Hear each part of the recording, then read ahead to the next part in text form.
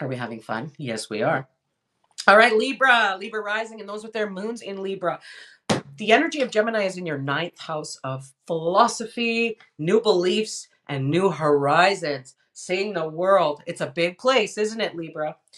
The world is a big, grandiose place. This is a time, too, where you might be thinking, Libra, of taking a higher education course in some way, learning something new, but your belief systems are changing. Maybe you thought this, maybe it was a religious thing, and you thought this, this, and now you're like, no, I'm thinking this, this no.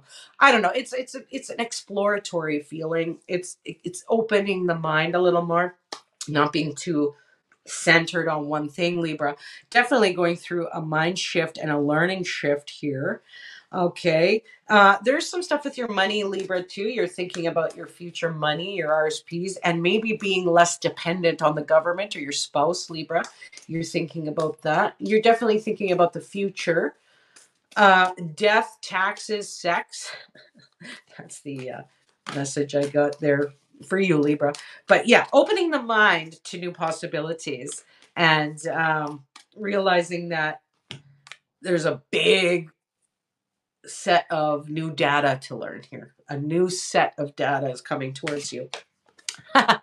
Not surprised I got the book Knowledge. Yes, this new data set, this new knowledge, this new book and it can be a learning thing too. Like I said, it could be a new course or uh, going to school for something or whatever. That could be a thing too. But it's definitely all about opening the mind. New knowledge, new data sets are coming your way, Libra. So that's very good indeed. And here we have I forgive the past. You need to forgive the past in order to start this new beginning. Three plus seven equals 10, further reduced equals one. The beginning of the movie. You are starting something new, Libra, in a way. You know, you're ending something, but you're starting something, but you need to forgive the past so that you can start this new endeavor and this new knowledge, this new data set that's coming your way. Okay. Now, I want you to think about Libra this Thursday.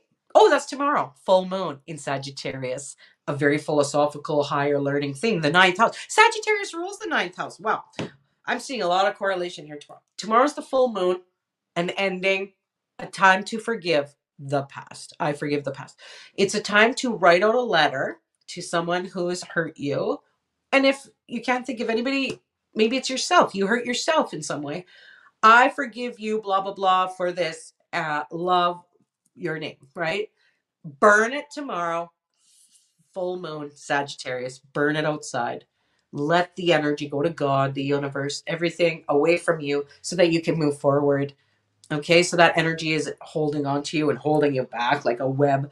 Okay, Libra. So do that. It's going to be very good. I forgive the past. Very good for your new belief system, your new awakening, and uh, your new exploratory journey in life. Line break. Thank you, Libra. Next is Scorpio.